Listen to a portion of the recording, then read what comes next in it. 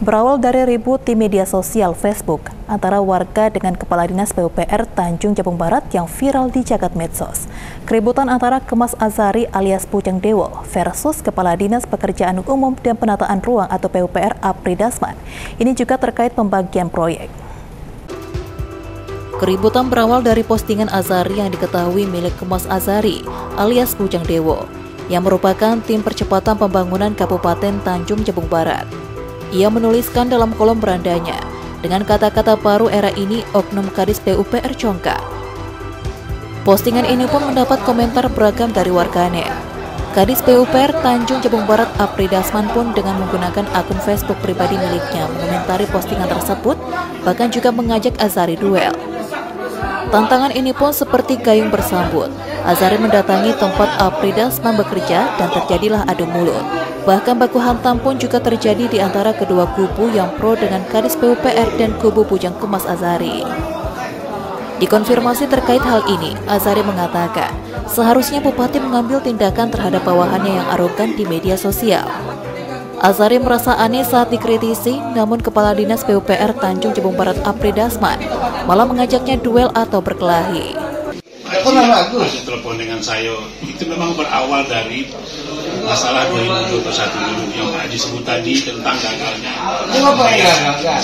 Bupati mau bayarnya bapak yang gagal.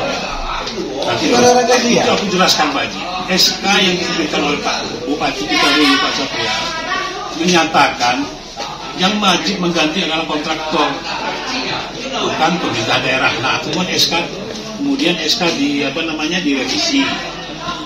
Dalam pak panjangnya jadi Nah, itu nah, nah putih tulang jadi. Bukan Jadi bayar. itu masalah pribadi maksudnya bukan. Namun sayangnya ketika dikonfirmasi usai insiden di ruang kerjanya, Apri Dasman hanya mengatakan no comment.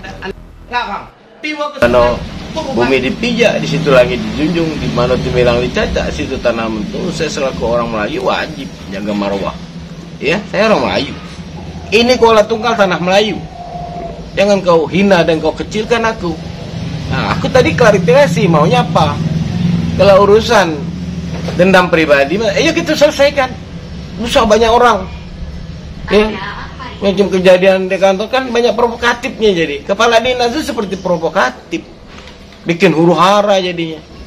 Ya, ada kelompok ini, ada kelompok ini. Akhirnya hampir bentrok besar tadi itu. Itu yang saya kesal. Itu Di peristiwa tadi sudah ada titik terang. tidak. Belum Saya tunggu Pak Bupati. Sampai di mana Pak Bupati menyelesaikan masalahnya? Ya, ini kepala dinas. Ada peraturan nomor 10 tentang ASN yang mengatur. Dalam beberapa minggu terakhir di medsos pun viral mengomentari tantangan duel Kadis PU melawan Pujang Dewo alias Pujang Kemas Azari.